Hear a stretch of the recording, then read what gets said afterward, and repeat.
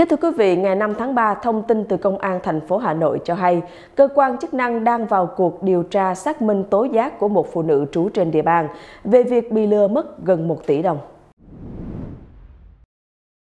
Ngày 5 tháng 3, thông tin từ Công an thành phố Hà Nội cho hay, cơ quan chức năng đang vào cuộc điều tra, xác minh tố giác của một phụ nữ trú trên địa bàn về việc bị lừa mất gần 1 tỷ đồng.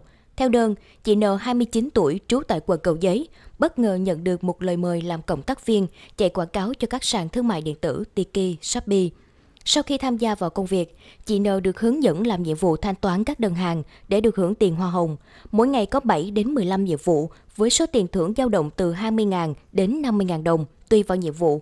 Tin tưởng sẽ kiếm được nhiều tiền, chị N đã thanh toán nhiều đơn hàng với tổng số tiền gần 1 tỷ đồng, với lời hứa sẽ nhận được tiền công khoảng 1,5 tỷ đồng.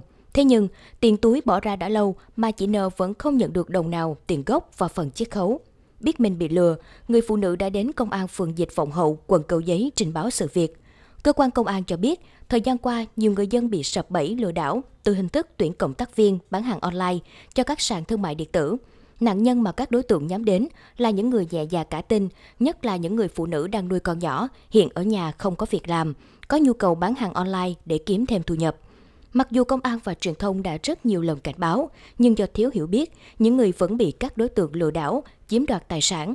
Để chủ động phòng ngừa tội phạm, Công an thành phố Hà Nội đề nghị người dân nêu cao tinh thần cảnh giác khi làm cộng tác viên cho các công ty, doanh nghiệp, đơn vị cung ứng hàng hóa, dịch vụ.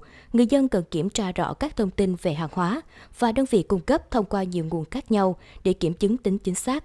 Nếu phát hiện ra trường hợp lừa đảo, người dân cần báo ngay cho cơ quan công an để nhanh chóng xác minh, ngăn chặn và xử lý các đối tượng vi phạm theo quy định của pháp luật. Bạn có video hấp dẫn. Bạn bắt gặp được những khoảnh khắc độc đáo. Hãy gửi về plo a vòng pháp luật tb.vn để nhận ngay quà tặng và nhuận bút hấp dẫn.